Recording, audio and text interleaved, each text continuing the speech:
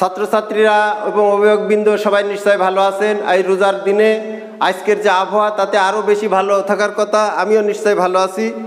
যাক, আজকে আমি ছাত্র তোমাদেরকে অষ্টম, নবম শ্রেণির তৃতীয় অধ্যায় থেকে কোষ বিভাজন, এই অধ্যায়টা পড়াবো। কোষ বিভাজন এখানে দেখো, কোষ বিভাজন কোষ বিভাজনের প্রকারভেদ। কোষ বিভাজন বলতে কোষ কীভাবে বিভাজিত হয় সেটাকে জানানো হবে, তাই না? কোষ বিভাজনের প্রক্রিয়া প্রকারভেদ কোষ বিভাজন কয়টি প্রক্রিয়া সম্পন্ন হয়? তিনটি।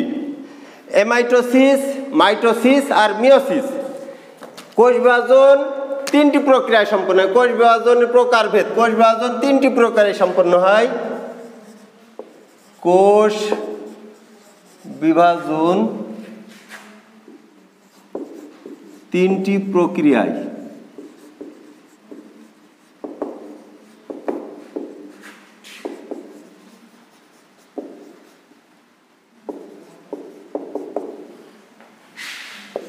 এক নম্বর এমাইটোসিস।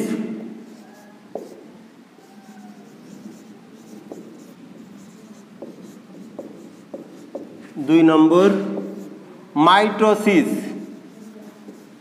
মাইটোসিস। তিন নম্বর মিওসিস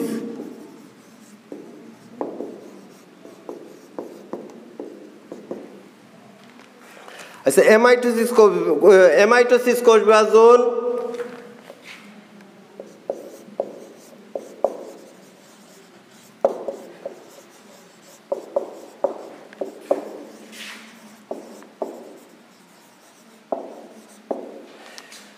এতে সাধারণত অজীব কোষে ঘটে থাকে। ব্যাকটেরিয়া, ইস্ট, ছত্রাক, এই ধরনের কোষে অ্যামাইটোসিস প্রক্রিয়া ঘটে।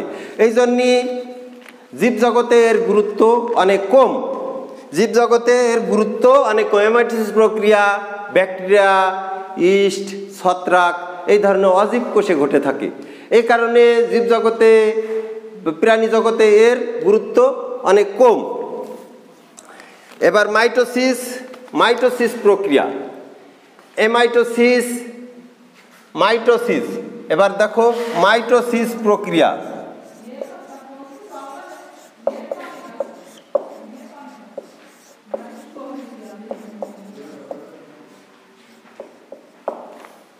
মাইটোসিস প্রক্রিয়া।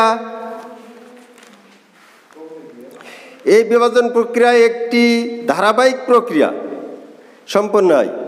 এই বিভাজন প্রক্রিয়া একটি ধারাবাহিক প্রক্রিয়া সম্পন্ন হয়। মাইটোসিস প্রক্রিয়াকে পাঁচটি ধাপে ভাগ করা যায়। মাইটোসিস প্রক্রিয়া একটি ধারাবাহিক প্রক্রিয়া সম্পন্ন হয়। এই এই বিবাহী প্রক্রিয়াটি সম্পন্ন এই বিবাহী প্রক্রিয়ায় নিউক্লিয়াসে একবার বিভাজিত হয় এবং সমভাবে নিউক্লিয়াসের প্রতিটি ক্রোমোজোম ও ও একইভাবে একবার বিভাজিত হয়ে ডিএনএর সংখ্যা সমান রাখে। মাতৃকোষে ডিএনএর অনু সমান রেখে মাতৃকোষে ডিএনএর ডিএনএর অনুরূপ হয়। এই কারণে এটাকে বলা হয় সমীকারণিক বিভাজন। রাস সমীকারণিক বিভাজন। এই মাইটোসিস প্রক্রিয়ার ধাপগুলো আমি তোমাদের দেখাচ্ছি।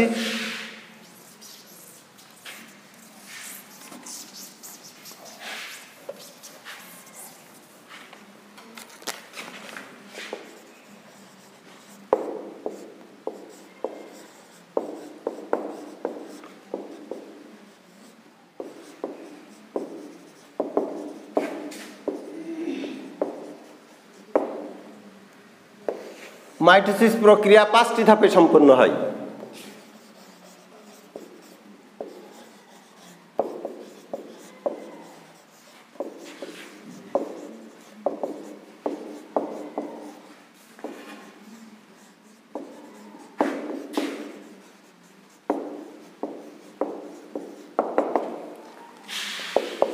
এক নম্বর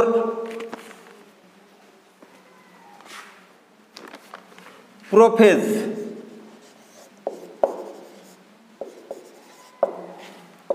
दुई number pro prometaphase prometaphase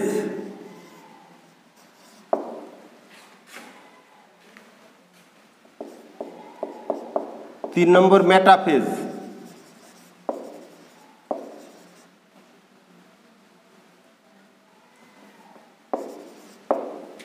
চার নম্বর।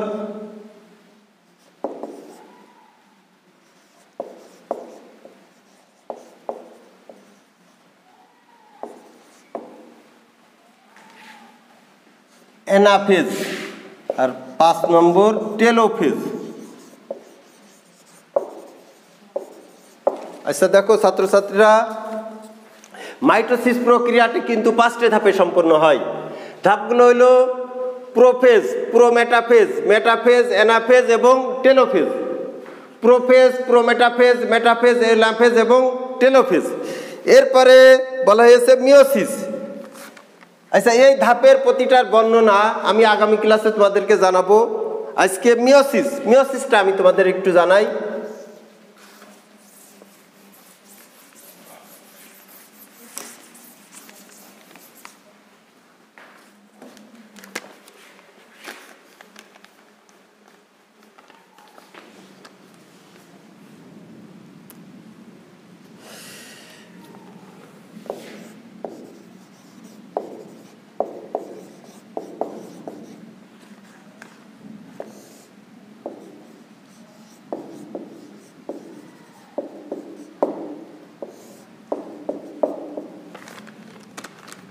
মিওসিস বিভাজনের